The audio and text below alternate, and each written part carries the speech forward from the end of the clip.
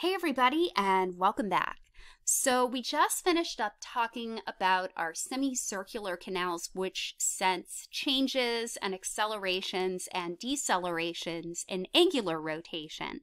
Now, we're going to talk about the otolith organs, which are responsible for coding changes in acceleration uh, in our horizontal and our vertical planes. So the otolith organs um, have a very similar sort of setup to um, to our uh, semicircular canals, but they achieve this in a very different way. The otolith organs are made up of a saccule and a utricle. Both of them are filled with fluid and they contain an area, uh, kind of a flat area, which kind of functions like the crista in the semicircular canals, except here we're going to call it a macula. Um, and so the hair cells are basically organized uh, on that macula. Um, generally, the saccule and the utricle are very, very sensitive to shear. In particular, those forces that run parallel to the plane of that macula where the hair cells are embedded. So the cilia of the hair cells are basically contained in a big gel cap, kind of like the cupula of the uh, that we saw in the semicircular semicircular canals. Now, on the other hand, the way that the um, hair cells move for our otolith organs is going to be a little bit different. On top of this gel cap, we have what are called otoconia or otolith stones. So they basically kind of look like little crystals. So when I jokingly say you have crystals in your head, I'm not actually kidding. So when we have a gravitational force or we have inertial force like linear acceleration, that causes the stones to move around. And those stones are sitting right on top of that gel cap, and that exerts uh, a lot of weight. So when gravity accelerates or decelerates, or um, we accelerate or decelerate in a linear plane, um, those stones are going to move. That causes the hair cell, uh, that causes the gel cap to move, which then causes the hair cells to move. So here's what that kind of looks like. So here are our otolith organs. So here we have our utricle, here we have our saccule, and you can kind of see that they've kind of cut open part of it so that you can actually see the macula. So the macula is basically going to be sensitive to anything that runs parallel to that. So the saccule, um, if the head is upright, the saccule will be very sensitive to acceleration or deceleration in a vertical plane. The utricle will be sensitive to acceleration or deceleration in the horizontal plane. So you can see that the hair cells are going to be embedded in this macula. Um, and additionally, we have a, a, a, sort of a different structure here. So in the center of the macula, we have an anatomical area called a striola. And you can see that the hair cells are actually organized in such a way. In the case of the utricle, the hair cells are aligned towards the striola. In the case of our saccule, they are actually pointed away from the striola. And if we go further and we actually look at our otolith organs, so the hair cells are basically embedded in this macula. And on top of that, you can see they are embedded in the gel cap. And then here's our striola. That is our anatomical structure that is the center of this. And I also hope you notice that with the striola, notice that we do actually have that change in alignment. So here, the largest stereocilia is located here. Here, we basically reverse the orientation here. And so that's going to help us be maximally sensitive to those changes. So they're embedded in this gel cap. You can see the structure of the hair cells around the striola, and then the otoconia are on top of this gel cap. So as we have acceleration in a horizontal or a vertical plane, that causes the otoconia to move, which causes the gel cap to move, which causes our hair cells to deflect. So, how is amplitude coded in the otolith organs? Um, and it turns out that the principles are similar to what we saw for our semicircular canals. Bigger movements create bigger deflections in hair cells. Now, because we have a striola, that makes it a bit more complicated. So the hair cells are oriented in opposite directions based on where they are relative to the striola. So what this means is that if we have a tilt or an acceleration that maximally excites hair cells on one side of the striola, that creates maximal inhibition on the opposite side. So if I have a movement that causes my hair cells to deflect this way, so follow my uh, follow my um, my cursor. If I have a movement that causes deflection to go towards the right, in the case of these hair cells on this side of the striola, we're bending towards the largest one, so we're going to get excitation. That same rightward movement is going to cause deflection toward the smallest for this side of the striola, which creates inhibition. So generally, Larger accelerations are going to move the otolith stones more. We get greater bending of the hair cells, and as such, larger changes in receptor potentials and greater changes in vestibular nerve firing. So again, we're looking for change. We are not looking for constancy. So what you can kind of see here, we have a case where um, the otolith organs may be sensitive to tilt due to gravity. So in this case, we start accelerating that tilt, and then we finally have movement at a constant tilt. Eventually, the uh, tilt will end, it will decelerate towards rest. You can see again that the hair cells and the uh, vestibular nerve fire at a baseline rate. As we start that tilt and get that short acceleration, we see a rapid increase in firing rate until a constant rate is reached. Now notice it doesn't drop back down, it just stays level. And then as we decelerate, we get a huge decrease in firing rate until we get to that resting level again. So how's direction coded? in the otolith organs? Well, partially through orientation, as I kind of mentioned. When your head is upright, the plane of the utricle's macula is horizontal, the plane of the saccule's macula is vertical. So if your head's upright, your utricle is sensitive to earth horizontal acceleration, so it won't code for vertical acceleration, it will only code for horizontal, and the saccule will only be sensitive to vertical acceleration. So now let's move on and talk about how we actually perceive spatial orientation and these aspects related to angular rotation, uh, accelerate, linear acceleration, and tilt. So, one of the things that's kind of interesting is that the vestibular sense, up until very recently, was very, very poorly understood.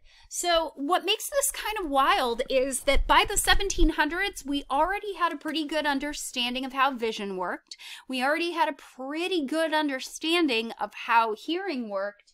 And yet, our perception of spatial orientation back in the 1700s it was actually believed that these massive fluid shifts in the head was what helped people figure out spatial orientation um, researchers ended up finding out that if you damage the vestibular sense, that sense of balance is basically knocked off kilter. So we began to understand that the vestibular organs were really critical for this. Um, but how do we examine spatial orientation today? Well, we can do so using a variety of different methods. And we're going to spend some time talking about these a bit. So we can look at things like thresholds. So we can look for an absolute threshold, the minimum motion that we would need to perceive a direction of angular rotation or acceleration or tilt. We could do something like magnitude estimation, where people give verbal reports of how much they think they've tilted, how much they've rotated using physical units like degrees or scales of 1 through 10. Uh, one of the cooler things that researchers have actually done is something called matching. So, what you do is you align a line or a pole with perceived Earth vertical after being tilted. And this can either be done uh, visually by kind of creating that uh, matchup using your visual senses or by touching a pole and rotating it using haptic sensation. So let's start by talking about our perception of rotation. So here's what's kind of interesting. So here's, let's take a look at actual velocity before we talk about perceived velocity. So here's another case where we have a, a change in velocity. We have a rapid acceleration and then we have um, a constant velocity uh, for about maybe 50 seconds, and then a deceleration and a return to zero. So, what's kind of interesting is that we tend to get pretty used to constant rotational velocity after a second. So, here we have the actual velocity in red. So we've got our acceleration, our constancy, and our deceleration. Here is our perceived velocity in purple. So you can see our perceived velocity rapidly accelerates to match our acceleration. And then as soon as that acceleration has reached a constant level, our perception drops back down to zero. So after about a minute, we may not actually perceive that we're rotating at all. Now, what's especially interesting about this is that here you can also see the response of the semicircular canals. Notice that the semicircular canals operate pretty quickly, just as our perceived change in velocity does. But notice that it drops off more quickly once that constancy is reached and is very, very slow, very, very quickly operating at zero during that period of constancy. When we get that rapid deceleration, our perception and our semicircular canals match up, but it takes a little bit more time for us to perceive a change in velocity relative to our semicircular canals. Now remember that our vestibular system is looking for change. The semicircular canal will not respond to constancy, and our perception um, with constant velocity is that we may feel we're not actually rotating. But what I think is interesting, and I've noted this, the signals from our semicircular canals actually change faster than our perception does. Now, what's especially interesting, you'll kind of see here, um, so if we, so in this case, you can see that we're kind of lagging behind our actual semicircular canals, like our actual biology. Now, if we're doing something like, so here we're just talking about rotational velocity. Now, what you'll kind of notice is that we do get the sense that we're counter rotating in the opposite direction. So generally, when we stop spinning, we tend to feel illusory rotation in the opposite direction. So once we stop spinning around in a circle, we kind of feel like we're moving in the opposite direction and we feel a sense of dizziness and imbalance. So how many of you are familiar with the concept of dizzy bat? Um, I was in Girl Scouts, and so Dizzy Bat was kind of a fun little game that you could play during like Girl Scout troop matchups or at PE if you had field day and different classes were competing with each other. Now, for those who don't know Dizzy Bat, basically what you were supposed to do is you uh, take a bat, you basically point the bat on the ground, then you put your head on the top of the bat and basically spin around in circles around the bat for a certain number of times. And then once you do that, then somebody will throw a pitch to you and then you have to try to hit it and run. Part of the reason that Dizzy Bat is so fun is that after you've spent a little bit of time spinning around in a circle, it becomes very, very hard to hit the ball, let alone be able to run to a base if you actually do manage to hit it. Now, this happens because of the responses of our semicircular canals. So, again, Your semicircular canals are looking for change. If you're rotating at a constant velocity, the hair cells don't deflect. And that's because when you move at a constant rotation, your endolymph and your cupula are moving together. If you accelerate or if you decelerate, the cupula will stop or change its motion, but the endolymph will always have a lag. So once that rotation stops, the cupula stops moving, but the endolymph is still moving. That deflects the hair cells and creates the perception that you're now rotating in the opposite direction that you were. Now, what about translation, moving around um, in X, Y, and Z planes? Um, can we actually determine the direction of our motion over small distances? And researchers have actually done this by basically putting people in the dark and having them be picked up in chairs while they're in the dark and they can't see where they're going. Uh, and then they have people recreate where, uh, basically, recreate where they are now relative to where they were and how long it took them to get there. And it turns out that when we do this, people are really good at reproducing the direction of the movement they were carried in, as well as the velocity of that motion. Now, translation is technically linear acceleration. And so, what this tells us is that our brain does a very good job of taking linear acceleration signals from our otolith organs into account. And this creates a perception of linear velocity. Now, what about tilt? So, one of the things that is a little bit tricky about tilt is that it's really easy to perceive tilt when you're vertical. It's really easy to realize that you've tilted something if you're vertical. How do we perceive tilt when we are not vertical? And so, uh, one of the ways that researchers have done this is by basically putting people on platforms and rotating those platforms certain amounts. So, generally, we tend to find that if we are doing tilt, and we're laying down or we're not vertical, if that tilt is less than 90 degrees, we're pretty good at figuring out how much more we have been tilted. But something kind of interesting to note um, if you tilt your head, a vertical bar of light might actually tilt in the opposite direction. So, your book actually gives you a way that you can kind of try this if you're interested. Um, so you can investigate this in a completely dark room. Leave your door open just a crack so that you can see a tiny line of light in the doorway and hold your head in a tilted position.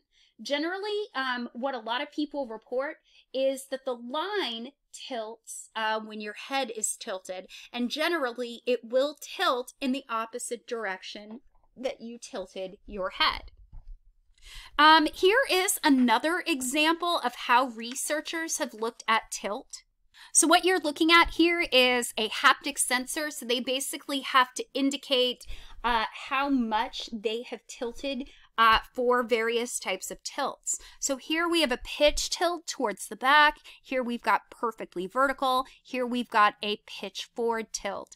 And what you can actually see is the perceived tilt versus the actual tilt. You can actually see that for the most part, most of these data points are falling on this straight line, indicating that people are pretty good at indicating how much they've been tilted. This is also true for um, this is also true for other types of movements as well. So here, for example, we've got one for a roll tilt. So in this case, they have a roll movement toward the right. Here we have vertical. Here we've got a roll movement toward the left. You can see that this one gets a little bit more difficult to do uh, once you've actually rotated more than 50 degrees, but by and large, people are still kind of falling on this line, indicating that they're realizing how much they've tilted and they're actually pretty accurate. And then finally, we have a yaw movement. So here we've got yaw to the left and yaw to the right. Once again, people are pretty good at figuring out how much they've tilted. So now we're going to stop here. We'll have one more lecture. We will talk about how our vestibular sense integrates with other senses, and then we will talk about what happens when our vestibular sense fails. I'll see you next time.